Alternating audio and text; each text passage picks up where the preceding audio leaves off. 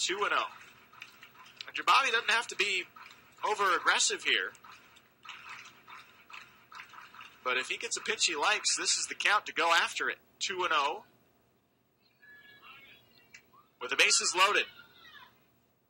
Now the pitch, a swing and a high, deep drive to left. Going back is Boyd at the warning track. Looking up, it's gone. Ronnie Jebavy, a grand slam out to left center field. And it's 4 to 1.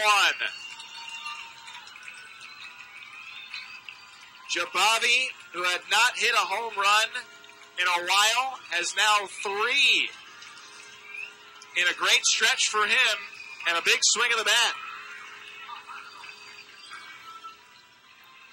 First grand slam of the year for the Giants comes at a spot that gives them the lead. So Ronnie Jebavy plates four, and it's four to one.